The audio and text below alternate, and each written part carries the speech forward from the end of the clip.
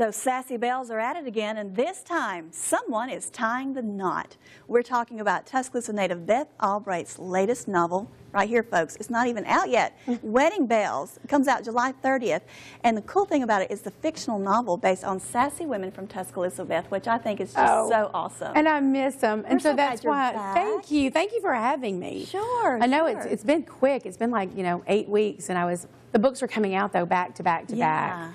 So, but the whole experience has been so amazing. It's been so fast. I know when you were here a few weeks ago, we were talking about Sassy Belles, the first book. Yeah. And the second book, Wedding Belles, carries a story along, doesn't it? Yes, yes. Tell, tell the folks a little bit, for those of us who have read Sassy Belles and are familiar with those characters, what happened? Thank y'all, by the way, for reading Sassy Belles. Yeah, the numbers have been phenomenal. And it's, of course, I thank Tuscaloosa. Yeah. They support their own. Um, what happens with Wedding Belles is at the, at the end, you see, it just, it's just going to pick up a heartbeat away. Um, and so we want to see now Vivian Lewis try to go tie the knot. But there's a secret. And when they go to tie the knot, it just might not happen. There's the baby on the way, so there's pressure with that. There's, um, you know, the football games and football season starting, and Lewis has got his hands full because he's a play-by-play announcer. And uh, by the end, we've got crazy wedding planners. My favorite characters in this book are these wedding planners. Oh my gosh, I want to meet them in person myself. and um, you know, and they're kind of based. Everybody's loosely based on people I've known in my life from Tuscaloosa, because as you know, the entire reason these books began were not for me to be a novelist. It was because I was homesick and I couldn't afford therapy.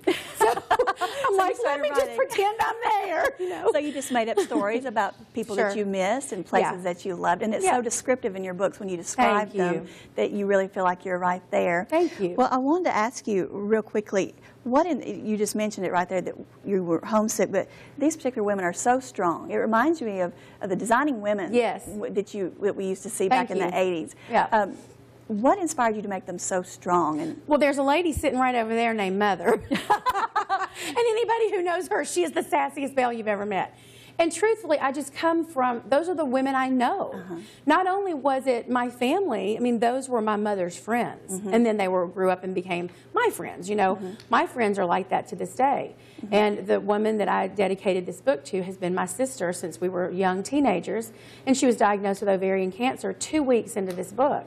And I almost called my editor and said, can't do it. And she said, no, I need to laugh. Do this for me. So I dedicated it to her. This is the What a strongest person I know, Susan, Right. and my friend Lynn, and my mother's friend Faye Hubbard. And I mean, I can go down the list. Right. That's who a Southern woman is to me. Right. They That's- Mm-hmm. carry the load, but we do it looking great. favorite part. Wear your pearls and lipstick, honey. well, this is just book number two, We've, and, and it comes out. Wedding Belles comes out July 30th, so everyone can get their copies of the books. I know you're doing some book signings Yes. in Birmingham this I week. I am. I'm going to be, all the books a million were so wonderful, Right. invited me to come and do a quick whirlwind. So the, right. the book signings are coming up tomorrow. It's uh, Hoover at 2 o'clock. Okay. And then um, Brookwood Mall is going to be from 6 to 8. So, people can get your chance to meet Beth in person yes, and get and another one on. Wednesday in Fultondale at, at uh, Books a Million. All right, and there was the information on the screen. Wedding Belles is July 30th, Yes. and then Sleigh Belles, the third book, comes out in October, and you're going to come back with us and give Yes, us a I'm preview doing of that huge, one. another book launch party at Barnes & Noble on the 29th of September. Okay. Everybody mark your calendars because I want to see you again. We had a party Okay. that day, so Thank I'll you be again. Back. Thank, you, so Janie. much, Thank Beth. you. All right, more news at 5 right after this.